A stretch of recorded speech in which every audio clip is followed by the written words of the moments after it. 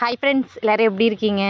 இன்றைக்கி பார்த்தீங்கன்னா நாங்கள் வந்து என் ஹஸ்பண்டோட தாய் மாமா வீட்டில் வந்து கோயில் திருவிழா. அதுக்காக தான் வந்து ஃபேமிலியோடு வந்து கோயில் திருவிழா கிளம்பியாச்சு இப்போது அது ஸ்கூல் லீவுனோட அனிதாக்காவும் பாப்பா குட்டிகளும் வந்திருந்தாங்க. எல்லோரும் சேர்ந்தே போயிட்டு கோயில் திருவிழா என்ஜாய் பண்ணிட்டு ரெண்டு நாள் தங்கி இருந்துட்டு ஜாலியாக இருந்துட்டு வரலாம் அப்படின்னு சொல்லிட்டு இப்போ கிளம்பியாச்சு. இதில் பார்த்தீங்கன்னா அமலாக்கா மட்டும் கொஞ்சம் மிஸ்ஸிங் அவங்க வந்து நாளைக்கு வரேன்னு சொல்லிட்டாங்க. அதுவும் இப்போ வெளில கிளம்பிட்டோன்னு பார்த்தீங்கன்னா பிள்ளைங்களுக்குலாம் அவ்வளோ ஒரு ஜாலி எல்லாம் வந்து மேக்கப் பண்ணிக்கிட்டு ஐப்ரோ பென்சில் எல்லாம் போட்டுக்கிட்டு ஜாலியாக வந்து கிளம்பிட்டாங்க. நாங்கள் பார்த்தீங்கன்னா பேசிக்கிட்டே இருக்கோம். நிலா பாப்பா மட்டும் வேறு ஏதோ சிந்தனையில் பார்த்து வேடிக்கை பார்த்துக்கிட்டு இருந்தாங்க. அதை சொல்லி காமெடி பண்ணி நாங்கள் கிளம்பிட்டு இருந்தோம். இப்போ வாங்க நம்ம போயிட்டு கோயில் திருவிழாவுக்கு போயிட்டு ஜாலியாக என்ஜாய் பண்ணிட்டு வரலாம்.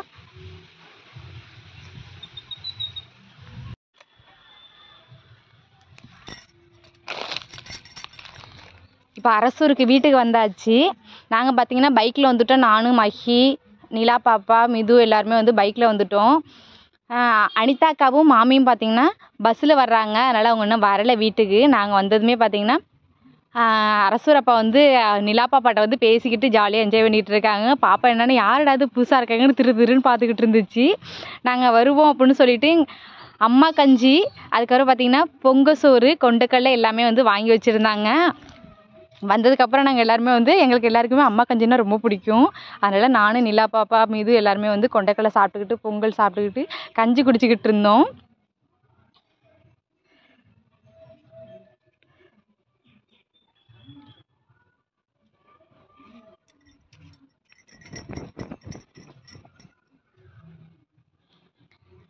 அதுவும் பார்த்தீங்கன்னா அன்றைக்கி வந்து ஆவணி ஞாயிற்றுக்கிழமையில் கோயில் திருவிழா வந்ததுனால பார்த்தீங்கன்னா கொஞ்சம் சாயந்தரம் ஈவினிங் டயத்தில் தான் நாங்கள் கிளம்பி அங்கே போனோம். ஆத்தா வந்து நாங்கள் வருவோம் அப்படின்னு சொல்லிட்டு காலையிலேருந்தே கா பார்த்துக்கிட்டு இருந்திருக்காங்க. ரெண்டு பேருமே அப்பாவும் ஆத்தாவுமே பார்த்துக்கிட்டு இருந்திருக்காங்க. வரவே இல்லைனாலும் ரொம்ப சங்கடமாயிட்டாமா அவங்களுக்கு.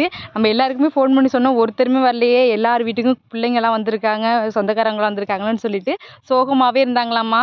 அதுக்கப்புறம் நாங்கள் வந்ததுக்கப்புறம் தான் அவங்களுக்கு சந்தோஷமாக இருந்துச்சாம்மா. அதுதான் ஆத்தா சொல்லிகிட்டு இருந்தாங்க. அதுக்கப்புறம் பார்த்தீங்கன்னா புது இடமா இருக்கிறனால பாப்பா குட்டியோ மிது மகி எல்லாமே வேடிக்கை பார்த்துக்கிட்டு இருந்தாங்க. என்னடா அது அப்படி வண்டியெல்லாம் கிடைக்கே அப்படின்னு சொல்லிட்டு அவங்களுக்கும் அந்த இடம் பக்கத்துல எல்லாம் பிள்ளைங்க இருந்தனால விளாண்டுக்கிட்டு இருந்தாங்க.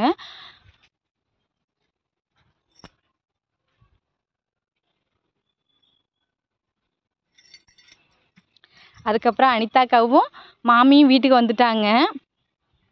அனிதாக்கு வந்ததுமே கேட்குறாங்க ஏன்த்த சோகமாக இருக்க? அப்படின்னு. நீங்களாம் வரலன்னு தான்ட்ட நான் வந்து சோகமாக இருந்தேன். இப்போ தான் எனக்கு மனசுக்கு சந்தோஷமாக இருக்குது அப்படின்னு சொல்லி பேசிக்கிட்டு இருந்தாங்க.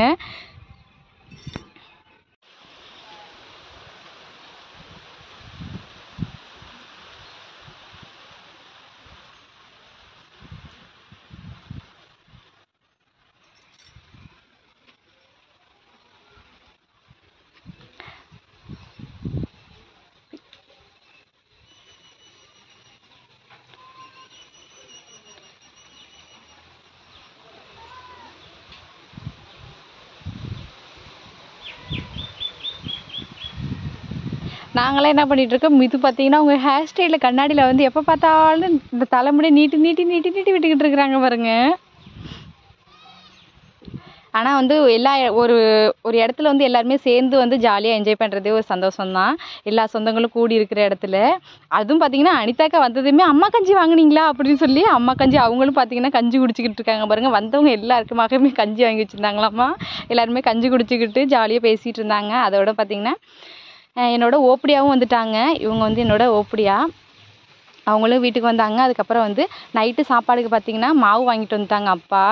அதனால் மாவு நைட் சாப்பாடுக்கு ரெடி பண்ணிக்கிட்டு அப்படியே மா அவங்களும் கஞ்சி குடிச்சிக்கிட்டு இருந்தாங்க. அப்புறம் காவடி வந்துருச்சு. நைட்டு காவடி வந்துருச்சு. நானும் அனிதாக்கா எல்லாருமே காவடி பார்க்க போயிட்டோம். காவடி பார்த்திங்கன்னா அவ்வளோ ஒரு சூப்பராக இருந்துச்சு.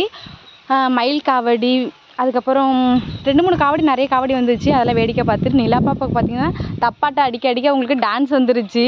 டான்ஸ் ஆட ஆரம்பிச்சிட்டாங்க. நிலா பாப்பாவும் மஹி மீது எல்லோரும்.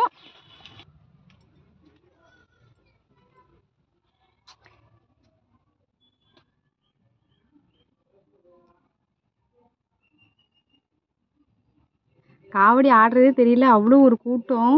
இங்கே பாருங்கள் ஆட ஆரம்பிச்சிட்டாங்க பாருங்கள் எல்லோரும். அவங்கள வந்து உற்சாகப்படுத்துறது என்னோட வேலை கைத்தட்டி கட்டி கைத்தட்டி.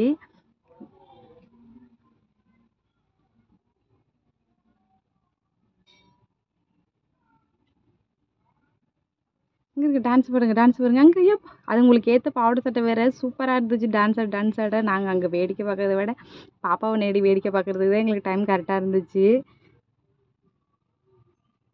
அப்படியே ஆ டான்ஸ் ஆடுறீங்களாடா? யார்டா ஆடிக்கிட்டு இருக்கிறது இதில்? அங்கே திருஷ்டி வந்துட்டு பாருங்க பாப்பா குட்டிக்கு. அழகா ஆடுறீங்கடா அங்கற அங்கற எவ்வளோ கூட்டத்தை பாருங்க. சுத்த விட்ட கிராம மக்கள் எல்லாருமே வந்து பார்த்துக்கிட்டு இருந்தாங்க. காவடியை பாருங்கள்